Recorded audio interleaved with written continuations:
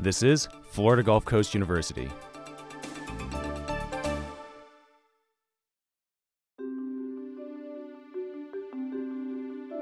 My name is Katie McFarland. I'm a graduate student in the Marine and Ecological Sciences. I'm working on my PhD through a joint affiliation with the University of Brest in France and Florida Gulf Coast University under Dr. Aswani Volety. We look at green mussels. They're an invasive species here in Southwest Florida. They were found up in Tampa Bay in 99 and have since spread down to our waters in Estero Bay. It's a heavy biofouler and what that means is it grows in really high densities so it's going to coat both boat hulls, buoys. And the other problem and our main concern is the oyster population. In Tampa Bay, they actually found oysters underneath populations of mussels that were dead. So the mussels settled on top of the oyster reefs and on oysters on pilings and actually kind of, you could say, smothered them. So I do a lot of population monitoring. I monitor their growth. I look at reproduction, recruitment, different cycles in their energy storage throughout the seasons. We have growth cages. So all the mussels are individually tagged. Once a month we go out and we pull the growth cages and we take measurements on them to monitor growth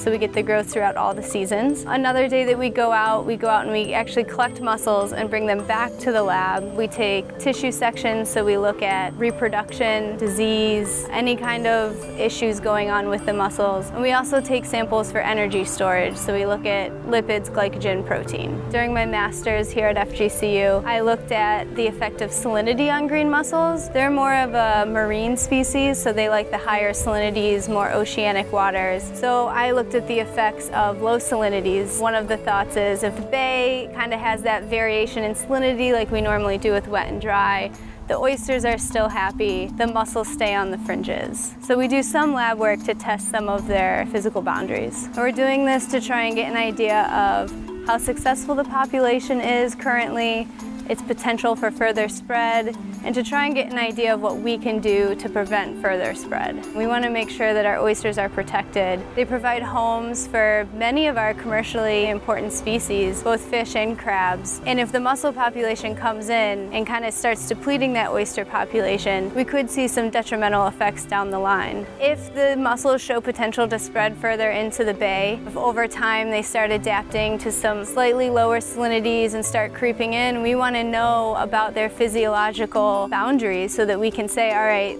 these are good ways to get rid of them. This is the background knowledge that we need to create a mitigation plan to protect our oysters, protect the bays, and keep the mussels out.